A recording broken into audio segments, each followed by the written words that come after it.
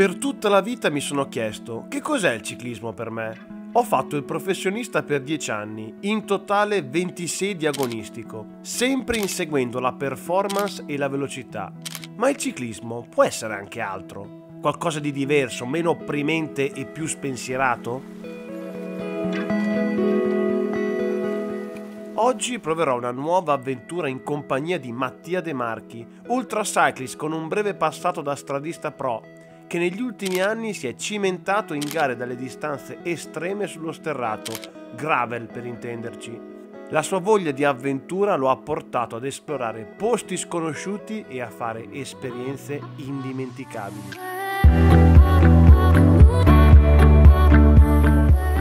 Siamo a Edolo sul percorso della sedicesima tappa del Giro d'Italia 2022. E cosa faremo oggi Mattia? Allora, oggi faremo qualcosa di alternativo. Eh, già con la gravel per me è già alternativo, eh, non lo uso mai, quindi...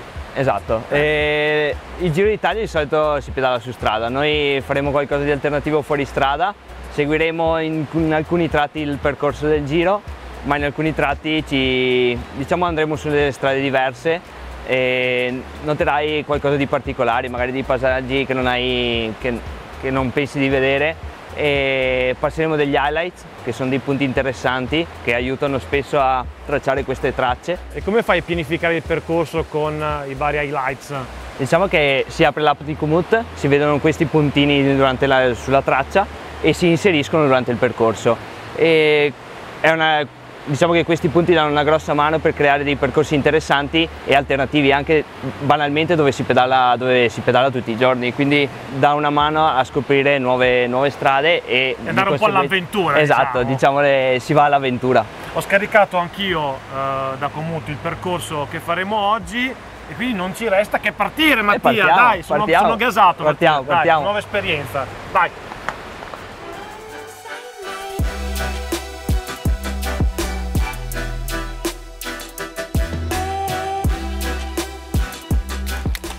entriamo nella porta dell'inferno. Dove porta dell'inferno? Ma stiamo facendo la salita da quando siamo partiti.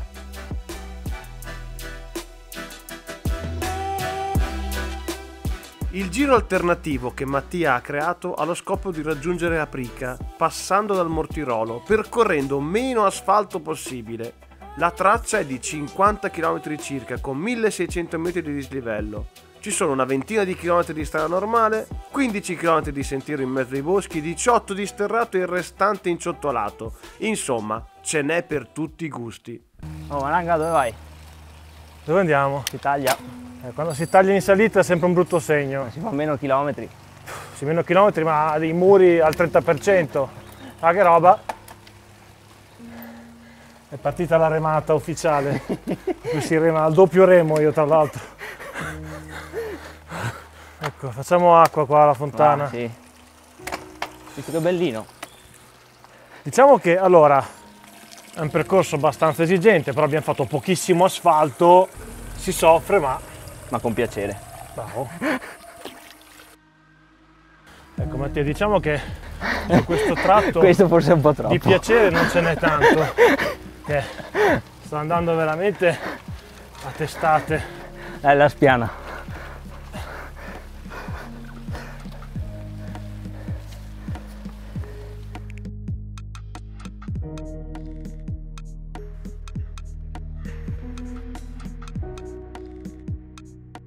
Abbiamo percorso il primo tratto del Mortirolo dal versante che faranno i corridori in gara, ovviamente i pro proseguiranno dritto, noi faremo la strada alternativa, giusto esatto. Mattia? Esatto, fino a qualche anno fa magari avrei preso anche io quella strada lì, adesso che mi piace magari l'avventura. Io l'avrei presa quasi quasi anche adesso, no, però no, no, no, fatica con piacere. Fatica con piacere di qua. All'avventura, all'avventura.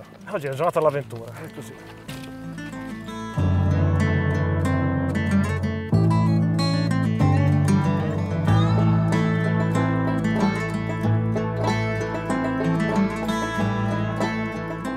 Quando il computerino ti si stoppa e riparte non so quante volte non è un buon segno, vuol dire che sei leggermente piantato e stai remando come una bestia.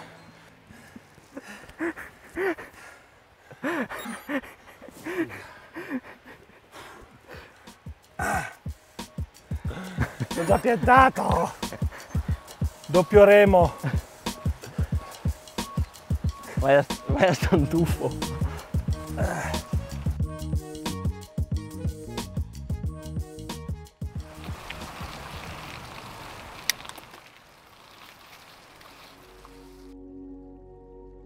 Ecco Alan, questo era punto, il punto che ci suggeriva con Mut. L'highlight. L'highlight. Eh, Bello, vedi? eh? Dopo Bello. tanta fatica... Eh, bisogna diciamo guadagnarseli, va- le, le belle viste bisogna Infatti guadagnarsele. ne valsa la pena. Mattia, tu sei uno tra i pochi ultra cyclist del gravel ad aver assaggiato eh, il professionismo su strada, giusto? Sì, diciamo che sono due mondi completamente diversi.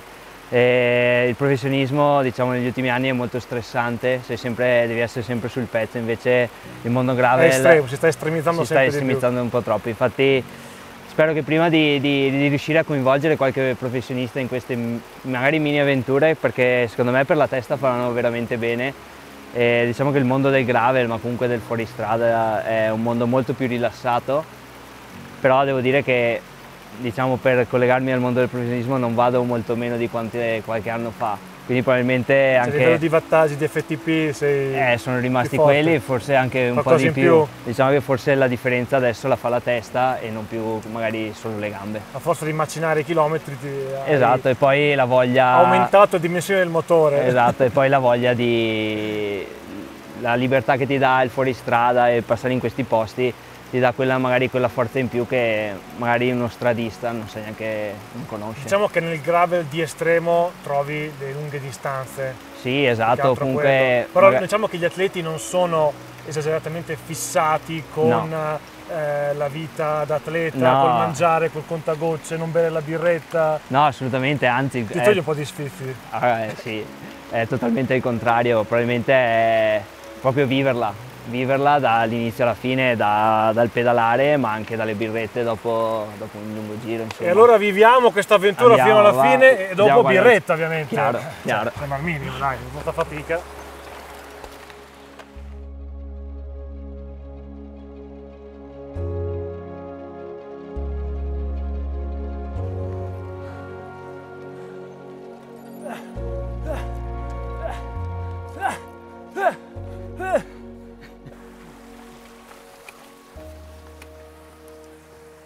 Sto, guarda, mi appoggio sulla bici.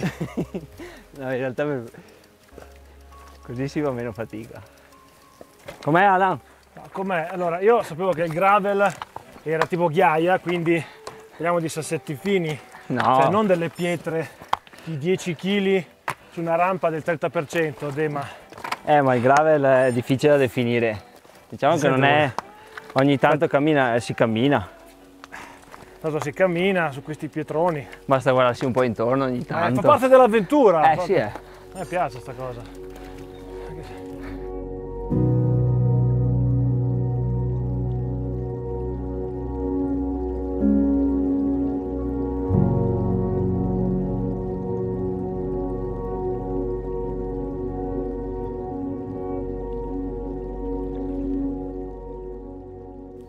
Alan, siamo arrivati al secondo highlight, che è il rifugio al lago del Mortirolo. Stupendo qua, c'è una pace incredibile, siamo solo noi in questo momento. Eh. C'è stato noi. un po' da camminare, da, Sì. da soffrire, però Però, vabbè, adesso, diciamo che adesso ce la godiamo, ci godiamo Sì. questo silenzio in mezzo alla natura. È la cosa, è la cosa che preferisco di- del gravel, è la pace che si trova in certi luoghi che magari sì, eh, si possono raggiungere anche a piedi, però boh, ra- raggiungere con la bici ha- ti dà quel qualcosa in più. Sicuramente. Qual è stata per te in questi anni l'esperienza più bella eh, nel gravel estremo? Diciamo che è stata probabilmente la mia prima esperienza fuori strada, che è stata la Transmountain Race, e era tutto nuovo, quindi mm, non sapevo cosa aspettarmi e probabilmente la partenza è stata in un mood totalmente sbagliato, ero troppo fissato con eh, la parte race e non mi stavo godendo quello che avevo intorno. E diciamo che è l'essenza di, queste- di quando si fanno queste cose qua, anche perché se non stai bene con te stesso per eh, diciamo qua- 80 ore eh, Se non di- ti sopporti. eh, diventa, diventa difficile. Quindi lì in realtà ho imparato molte cose e da lì in poi è cambiato il mio modo di approcciare anche alla, alla bici. Quindi per me adesso è- la bici è solo godersela, godersela in ogni, a 360 gradi e, e per fortuna ho cominciato, ho cominciato a farlo quella volta. Caro Mattia, starei qui a sentirti per ore, ma si sta facendo un po' freschino. Eh, siamo Queste comunque, nuvole, siamo comunque a insomma, 2000 hanno- metri quasi. Eh. Hanno fatto abbassare un po' la temperatura, Eh, sì, dai, eh. andiamo, Andiamo, fidiamoci, andiamo, dai, dai, dai, dai.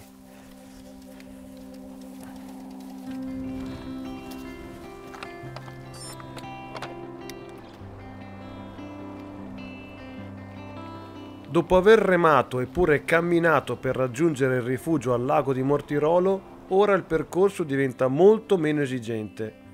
Si può pedalare senza dover soffrire eccessivamente, ci si gode maggiormente la natura che ci accompagna lungo il tragitto, ma soprattutto si inizia finalmente ad apprezzare anche un po' di discesa.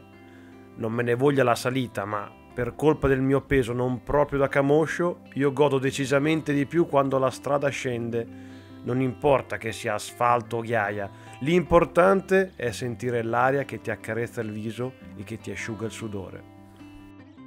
Siamo arrivati finalmente ad Aprica, è stata una bella avventura, abbiamo pedalato eh, su eh, sterrato, su rocce, Rocce. massi eh, abbastanza importanti, abbiamo dovuto anche camminare Camminate un po' di in alcuni portage. tratti, eh. abbiamo fatto anche una bella camminata, Sì. però tutto sommato io mi sono divertito, anche se Eh. ho sofferto un po' perché le pendenze molto spesso erano a impegnative. doppia, ampiamente a doppia cifra, però mi sono divertito. Eh, questa è l'avventura, diciamo che quando non si conoscono le strade eh, non si sa mai quello che si trova, però eh, Ci diciamo, che, una traccia da seguire, però ovviamente non potevamo sapere Chiaro. ogni singolo metro cosa ci aspettava. però diciamo che mm, abbiamo visto dei posti che probabilmente i professionisti non vedranno. Esatto, i professionisti faranno ovviamente il classico percorso noiosissimo Noioso. su strada. Noi oggi con le nostre eh, gravel abbiamo fatto un qualcosa Di di alternativo che consigliamo anche Certo. eh, a chi ci segue di, di provare, Sì, giusto? perché finché non si prova non, non riesci a capire cosa ti può portare. Bisogna provarlo sulla pelle, cioè, provarlo. ma anche la, la sofferenza di fare questi muri sterrati al 15-20%. Ti tratti. È un'esperienza da provare, ragazzi. Comunque io Assolutamente. ho provato nella mia vita una gara di ultracycling, tutta su asfalto. so- Sinceramente non la, non la rifarei più. Però gravel, no, gravel, non lo Forse so. dai. Non, non credo, eh, però un po' di curiosità c'è. Secondo me prima o dopo o ti fregano Sicuramente mi fregheranno perché dico sempre sì a tutti, quindi mi toccherà fare anche una gara estrema grave prima o poi. Speriamo più tardi possibile. Comunque, siamo arrivati alla conclusione di questa puntata. Se il video vi è piaciuto, vi ricordo di mettere like, commentare. Non mi resta che dirvi. Arrivederci alla prossima puntata. Iscrivevi al canale. Eh, dovevi- ciao. dovevi dirlo, eh, cavoli. Arrivederci alla prossima puntata. Ciao. Sono finito. Non la faccio più. Devo andare a casa. Non la faccio più.